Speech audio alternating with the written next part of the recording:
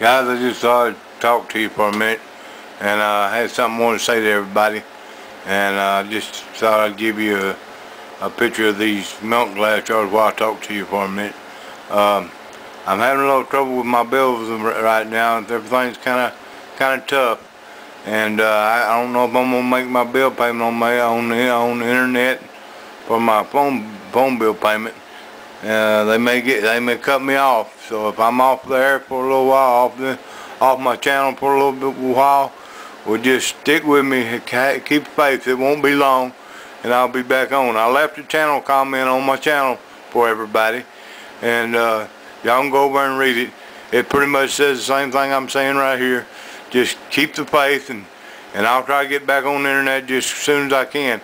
Uh, I, I, I got hit with a bill that I wasn't expecting the other day, and uh, but uh, it won't be long. I'll be back on the internet. I'm gonna try to post a video this weekend of a hunt. I'm gonna uh, if I get to hunt, is that is we may have to work Saturday. I don't know for sure yet, but uh, that's the way they're talking.